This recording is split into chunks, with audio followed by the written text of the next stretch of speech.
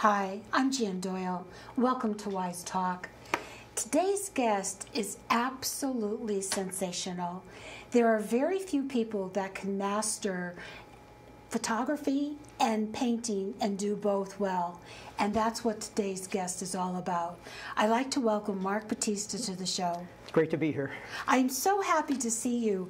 I met you um, maybe about a month ago, a mutual at an art opening. We both had images in, and neither of us won first place, I might add. I was a little depressed. image of the owl was wonderful. Oh, You did a great thank you. job. You Great job. remember it. And a person in common mentioned you to me because we have a background that's very similar. What What do you do now that I used to Uh, do? well, I'm, I'm a teacher. I, I serve as an art teacher in, in the West Haven school system. Yes, and I used to teach in West Haven, so it was wonderful having that connection. Well, let's get right into what you do. Let's get started with um, we have an image that you that's going to be coming up on the monitor, and it's a picture, the same picture we have of this gentleman Okay. behind us. Where was that taken? Uh, it was taken in a small town in Italy called Pizzaro.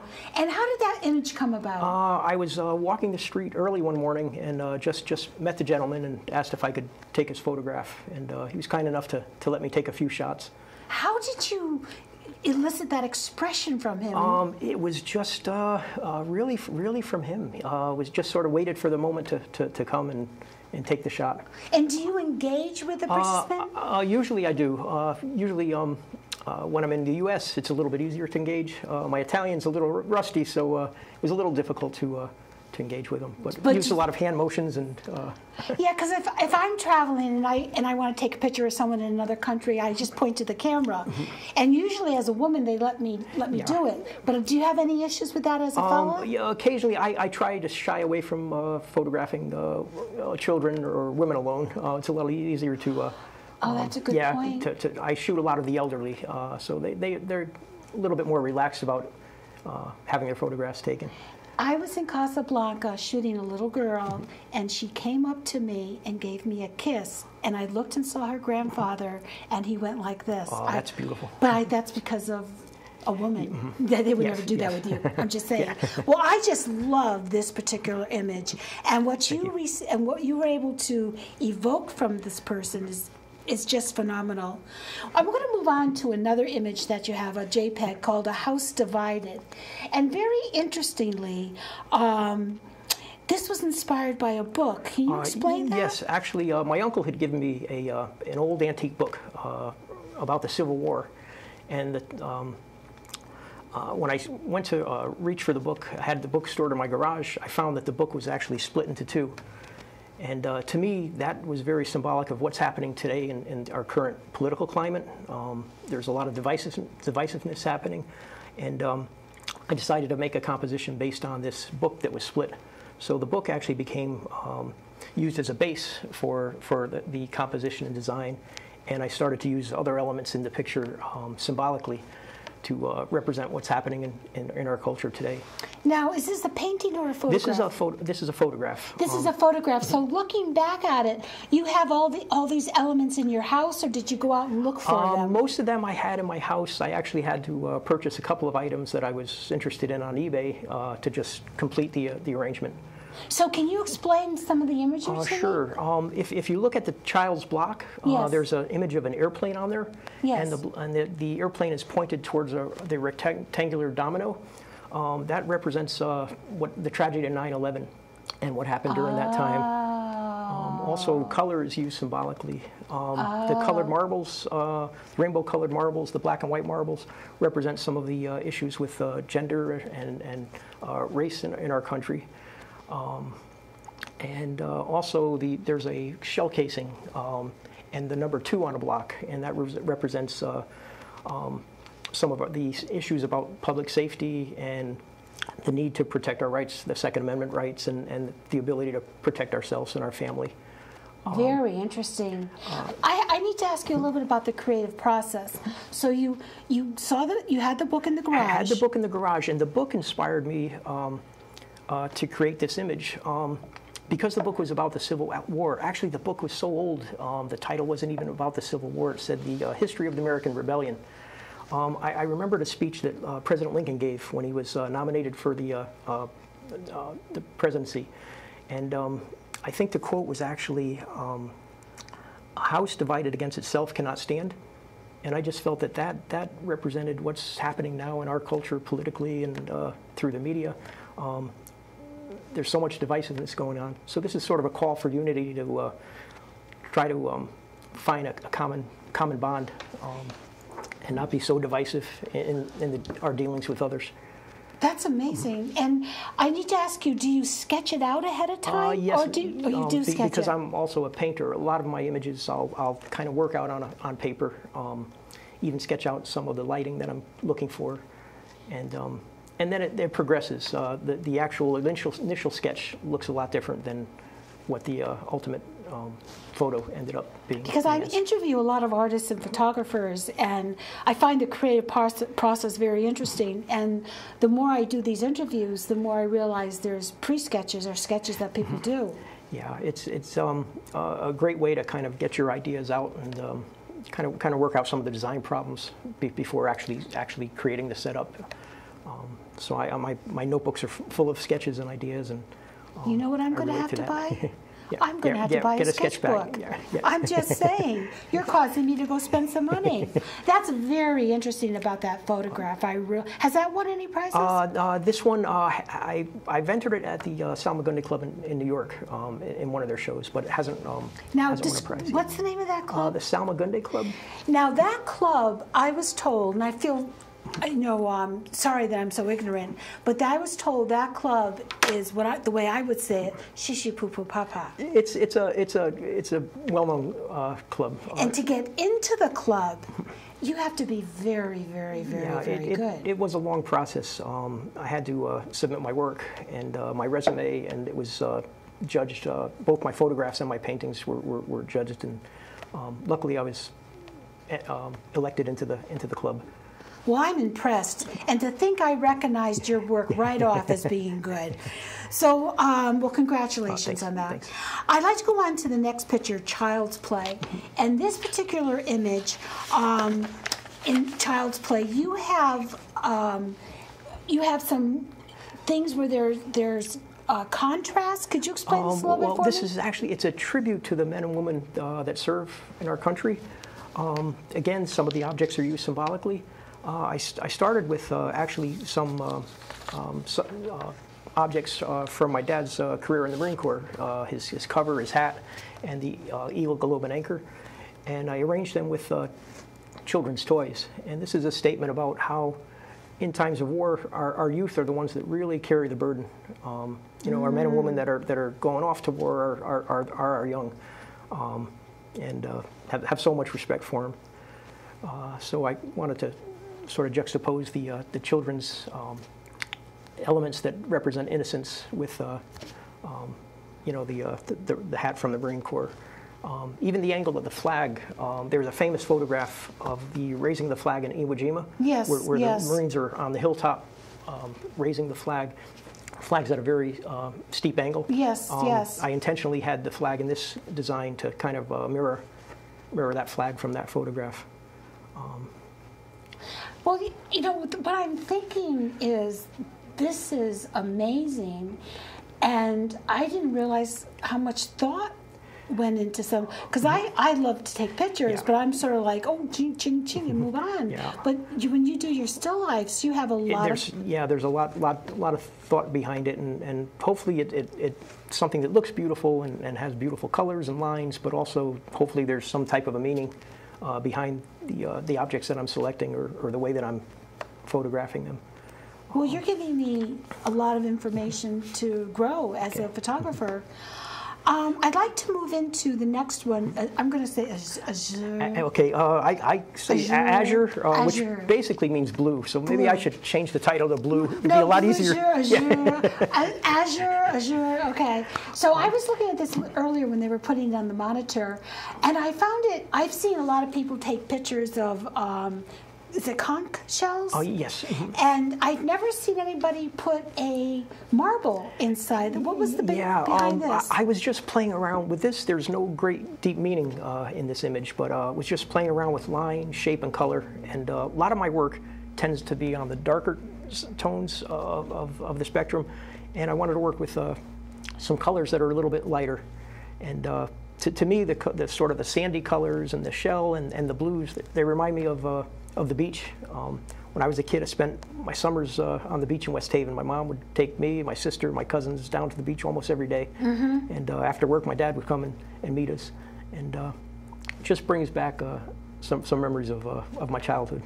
Now, when I look at that, the background, how did you get that background? Uh, the backgrounds I actually custom make. Um, I actually paint them.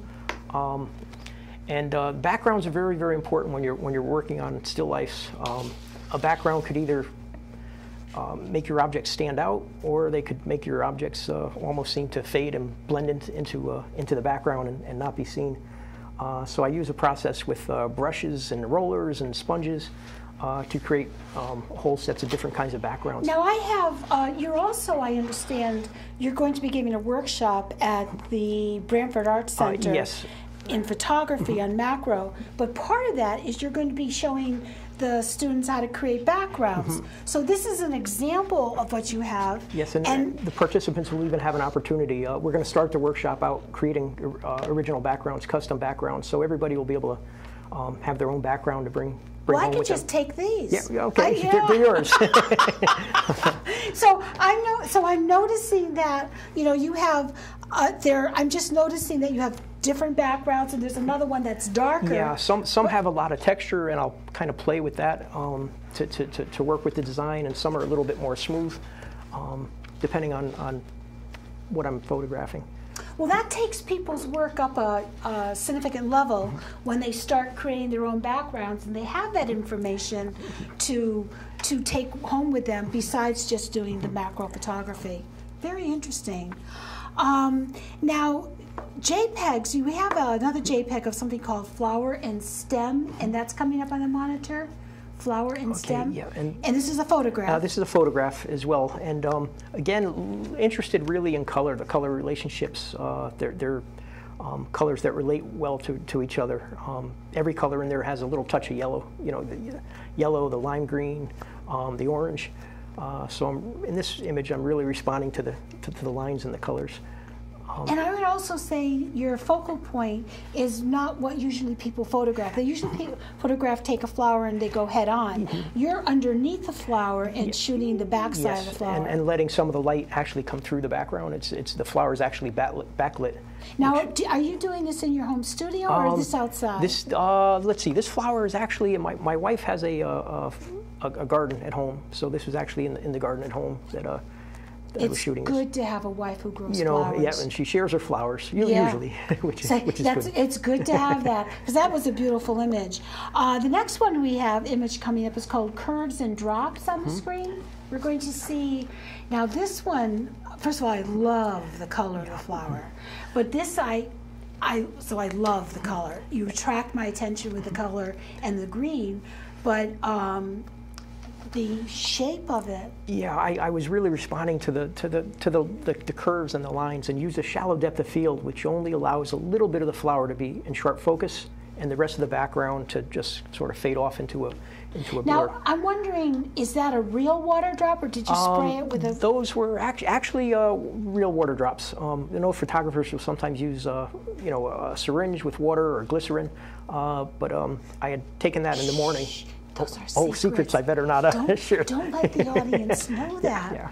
And sometimes they also use a um, spray bottle.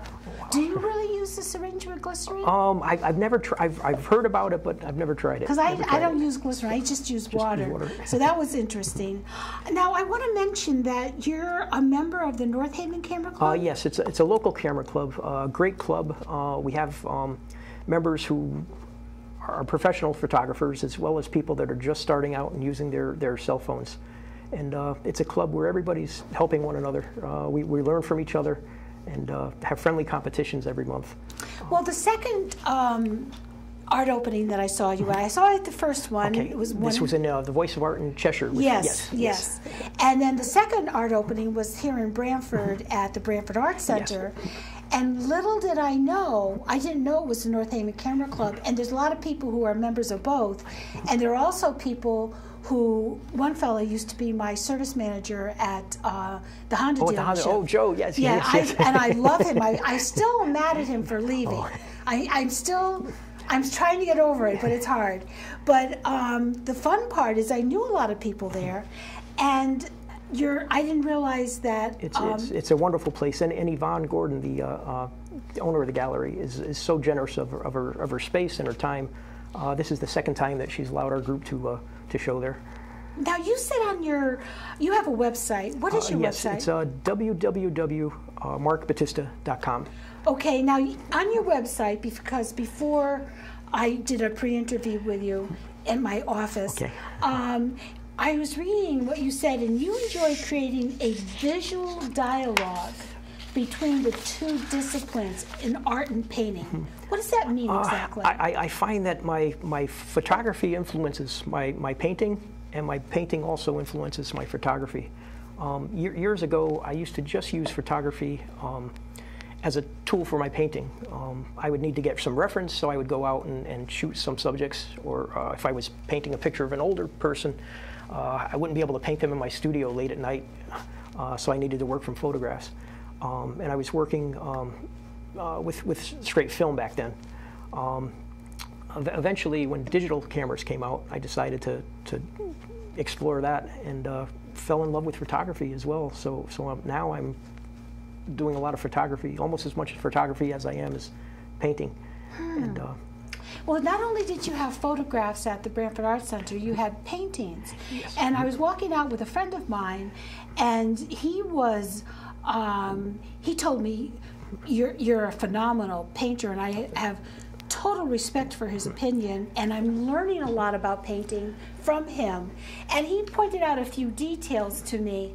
Um, and his, he mentioned to me that um, I'm not sure if I see it up here. Maybe it's a JPEG, uh, the JPEG of the coffee, tea, and milk, and that you have such detail in your paintings that they look like photographs, and actually, I thought they were. uh, very, very, they're, they're, they're very much actually. Um, this JPEG that we have on screen is actually a photograph. That and- is a photograph. photograph, and this photograph was actually inspired from a painting that I did a few years uh, previously, um, using the same subject. Oh, now So this this is the actual uh, oil painting. so you did the painting 1st and then you did the, The photo- photograph, so that's almost in a, in reverse order that I, I usually Do- do, a photograph first, and uh, so that's sort of how, how my paintings and photographs. There's there's that dialogue running back and forth, and I sort of bounce from one media to the to the other. Um, sometimes working a subject, working an idea.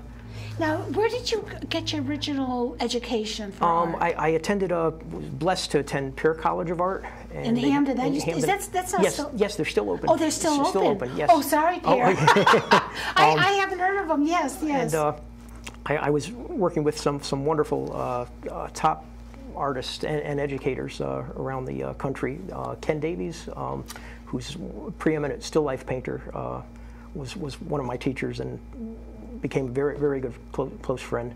Um, John Massimino, uh, who's st- still painting in East Haven, uh, was a tremendous tremendous teacher and a big influence on the way that I, use design in, in my work. Um, Bob Zappalorti is there. Uh, Rudolph Zallinger, uh, you might know Rudolph's work at the Peabody Museum, the large um, murals of the dinosaurs. Yes! Um, uh, he, he painted that when he was a student back at Yale. Um, and his wife and his son were also uh, professors there at Paier. wow. It was just a wonderful school. Um, learned so much from the, the, uh, the, the, the professors, learned so much from the other students. It's, it was a, a great environment. Well, I would love to have you back with one or two of your other professors, and we can Oh. talk about the interrelationship and the growth and development. Because you've, w- I've spoken to you a few times now, and your comments about them are just uh, inspiring. And if only one of my former students would speak about that about me. But the interesting thing, the real interesting thing, is the director for this show, Doug. He's in the control room. He was your student. Yes, yes, he was. He was uh, in one of my first uh, uh, classes that I taught at uh, Style School in West Haven, and he was in a wonderful fifth grade class. Uh, uh, have, have wonderful memories of, of him and, and, his, and his classmates at that school. Now, this is just between us, okay? Mm-hmm. Yeah. Was he a bad boy? Not at all, not at all. Never, never gave me a problem. Yeah, yeah, yeah, yeah, yeah. yeah. Don't let that go to your head, Douglas. Okay, I'd like to move on. So then you have, there's another style of painting, Trump Uh, Loy? tr- trompe l'oeil, it's uh, Trompe l'oeil. French, which means fool the eye. Uh, and it's a very uh, realistic uh, type of painting, very, very uh, sharp focused uh, painting, um, use of a lot of detail.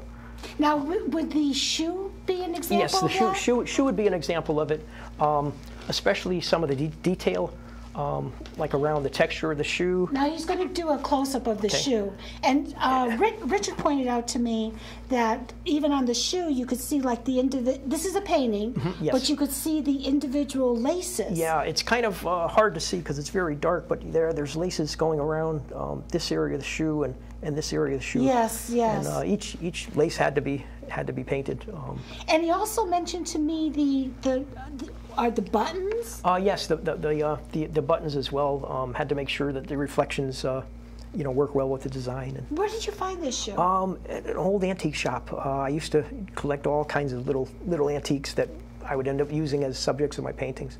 Um, Luckily, I didn't throw them away. I still have them. So so, so occasionally they'll come back and I'll revisit them again, and you know maybe, maybe this subject will be a photograph again someday or another painting. Well, I have to tell you, people always say clean out, but anytime I throw anything out, I want it. You know, I want it a couple days later. So, and I we also noticed the wood grain. Now, this is this something that we discussed earlier called a worm's eye view? Uh, yes, uh, worm's eye view is when um, you're looking at the subject from a, from a low angle. Um, gives a little bit more prominence to the subjects that you're working on rather than looking at them above. Now, and actually now I we I now I know where I kind of got this because as a photographer out in the field, you have to get down at the level of what you're photographing. Mm-hmm. Yeah, spend a lot of time on my belly, Yeah, you know, but shooting. you don't do things. that when you're Uh, painting. no, with, with painting it would be tough tough to uh, to paint on my belly. So um, I, I'm usually actually raising the subjects uh, higher. Uh, so when I'm actually looking at them and painting them from life, I could see them at the angle that I want. Well, that makes a lot of sense. That makes total sense. And then um, we have. I want to talk about the image behind me. I don't. Okay. Is that on a JPEG? Uh, or? I don't believe that's on a JPEG. I think it's uh, just just. Okay, um, tell me the now this one because maybe because it's right behind me, but this I found fascinating because you had such. This is an example again of Uh, yes, yes, uh, sharp, sharp focus, still life painting, Trump, Trump. Because you have you show the uh, chip on the chip on the here. Yeah, there's there's chip and there's wood grain, and was interested again. This was uh, an image where I actually lit the subjects from the back. I had my lamp uh, positioned behind the uh, the, um, the the frame of the glass, and the light was coming coming from them. So I was really interested in the transparencies of the glass and, and how the shadows played played across uh, the items.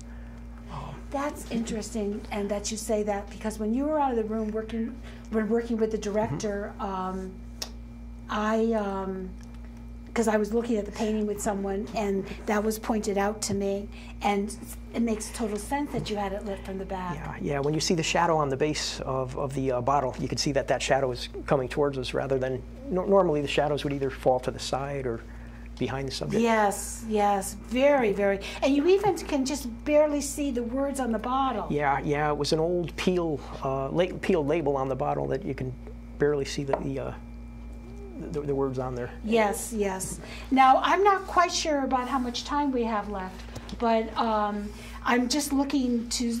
I we have a we have a picture of a woman with a braid on a JPEG. Okay, uh, yes. Um, was a woman that I painted um, in uh, the southern part of Italy uh, called Buccino, and uh, I, I'm, I'm very, very attracted to the uh, older older faces. They have Thank a lot of God. they have a lot of history. Thank, ah, the, you know, they're, they're, the, the lines on their face just, just tell a story.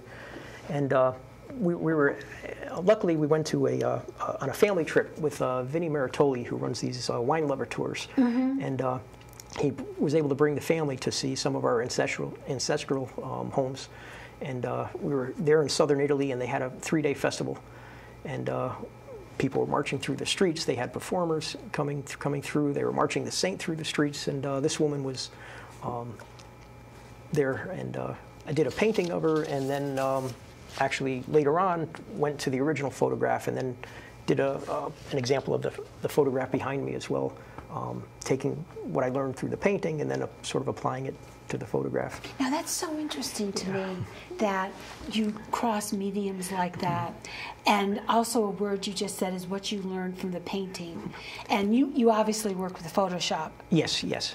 Are you accomplished in that? Uh, no, um, I just sort of pick, picking up as much as I can. Um, Milford Photos offered some great workshops that I've picked things up, and then through the North Haven Camera Club, there are some members that are really highly uh, skilled in, in Photoshop, and uh, just kind of experimenting and playing with it Photoshop, I take classes, I work on it, then I don't touch it and I forget everything. That's the problem, yeah, you That's have to- the have to problem. keep- I keep up have a it. few issues. Now, we don't have that much time left, so I want to ask you if someone wanted to contact you, how would they do that? Uh, the best way is to uh, reach me at my website at www.markbattista.com. Um, and just uh, shoot, they have a link to shoot me an email uh, through, through the website. And um, is there, do you give, I'm, I'm wondering, eh, do you give painting lessons? Uh, yes, I, I do teach privately uh, painting lessons and, and photography uh, lessons, uh, one-on-one photography uh, lessons as well. Now, when you give painting lessons, what medium do you give it in? Oil or watercolor or Actually, uh? Pretty much uh, pencil, oil, and, and acrylic. Um, but if somebody does want to learn pastel or, or, or acrylic um, as well as watercolor, I can. you can I do can that. that, yeah. What do you prefer personally to work in? Personally, I, I love the oils and, and the watercolors. The oils because I could really get in and, and create some really sharp focus detail.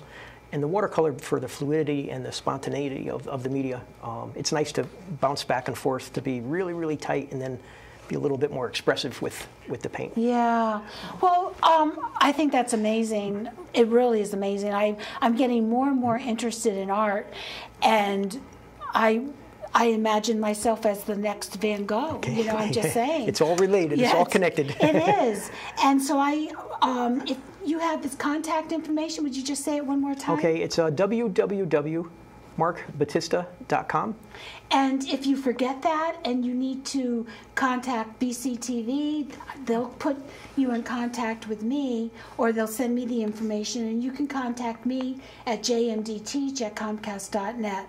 Mark, thank you Uh, for being you. on the show. It Been a- was a been a wonderful pleasure. treat. Thank you. Thank you.